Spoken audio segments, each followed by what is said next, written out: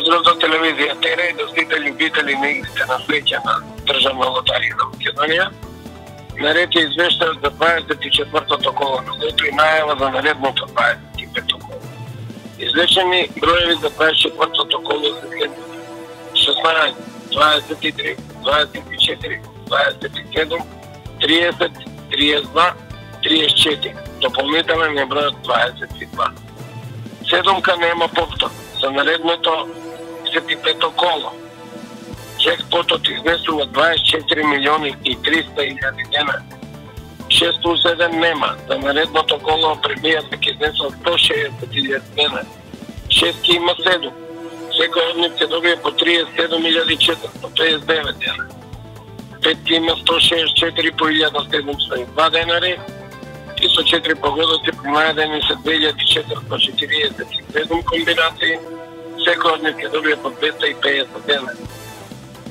За Джокерот се изнесени следни 6, 3, 1, 8, 7, 1.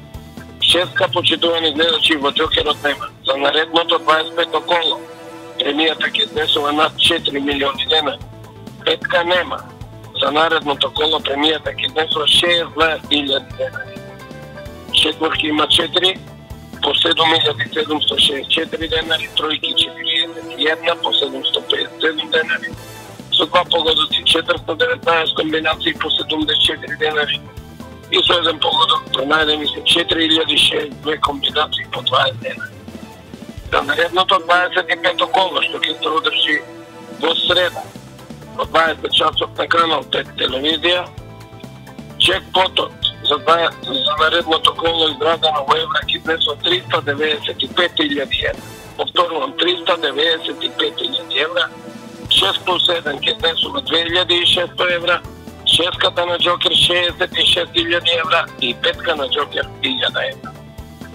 Нависи на големи премии, почитувани гледачи и редно е некоја од овие големи премии веќе да паѓа. Тоа е се одржавна лотарија и до слушање.